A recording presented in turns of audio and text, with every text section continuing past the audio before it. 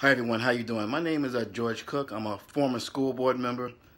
I currently serve as a councilman, but as a former school board member, what happened in Parkland, Florida, the school shooting is like the worst nightmare, the worst thing that could ever happen.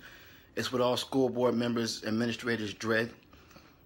And I first want to send my condolences to the, the victims of the shooting, to their families. Um, there's no words that can, you know, um, help with your loss, but I want you to know that we care.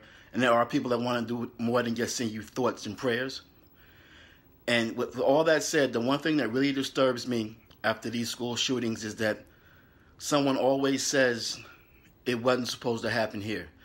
And I know they don't mean any harm. I know emotions are high.